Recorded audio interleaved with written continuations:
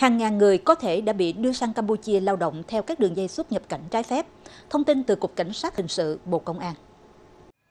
6 tháng đầu năm nay, lực lượng chức năng của Việt Nam và Campuchia đã phối hợp giải cứu hơn 250 trường hợp bị lừa sang lao động trái phép tại quốc gia này. Các công dân Việt Nam khi làm việc tại các cơ sở đánh bạc trực tuyến bị cưỡng bức lao động, cưỡng đoạt tài sản. Có những cơ sở nằm giữa rừng sâu, ngụy trang thành điểm sản xuất. Các cơ quan chức năng cũng gặp khó khăn khi xác minh thông tin.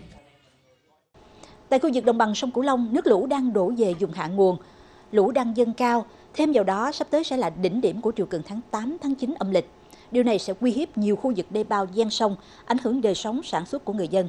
Phản ánh tại một số địa phương ở đồng bằng sông Cửu Long. Từ giữa tháng 4 đến nay, đê bao Cù Lao Dung, tỉnh Sóc Trăng đã xảy ra hàng chục điểm sạt lở. Với ba ao nuôi tôm trên diện tích 6.000 m2 nằm sát chân đê, chưa khi nào ông Mộng lo lắng nhiều như lúc này. Mình sống trong cái sự hồi hộp không? Nó là sống mình không biết là của mình nó, nó, nó tiền mình bỏ xuống đây mà không biết là nó, nó khi nó dở ra hồi nào. Những ngày này, ông Đặng Văn Bé cũng như nhiều hộ dân sống gian tuyến đê bao sông Măng Thích, tỉnh Vĩnh Long cũng trong tâm trạng lo lắng không kém. 20 mét đê bao cũng là con lộ trước nhà ông đã bị triều cuốn trôi, lớn sâu về tới 7 mét. Bốn con giường bưởi đang cho trái bên trong, nhiều khả năng sẽ bị ngập úng.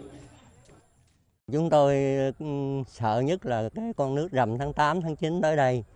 Nó sẽ dần lên, nó phá cái hệ thống đê, đê này rồi nhà cửa sẽ bị ngập và cây trái sẽ bị thiệt hại. Dự báo tháng 9, tháng 10 tới đây, đồng bằng sông Cửu Long sẽ có nhiều đợt triều cường. Thời điểm này cũng là lúc lũ thường nguồn đổ về. Nguy cơ các tuyến đê bao ở các cồn bị dở là rất lớn. Theo cái quy luật triều khoảng tháng 9 này thì nước sẽ lên và dân rất cao, à, uy hiếp ảnh hưởng đến ờ, cái sản xuất của bà con ở trong ờ, cái ờ, cái khu vực mà cái đê này à, bảo vệ. Thành ra là Ủy ban nhân dân tỉnh, Ủy ban nhân dân huyện và ngành nông nghiệp à, đã tiến hành rất là khẩn trương để khắc phục cái tình trạng này. Chúng tôi cũng đã chỉ đạo cho đơn vị tư vấn hiện nay thì đang tiến hành là khảo sát cái tình hình sạt lở tại cái vị trí sạt lở để là có cái đánh giá và có cái phương án gia cố khắc phục cho nó phù hợp. Năm nay, lũ ở đồng bằng sông Cửu Long không cao, nhưng triều cường lại được dự báo là sẽ cao.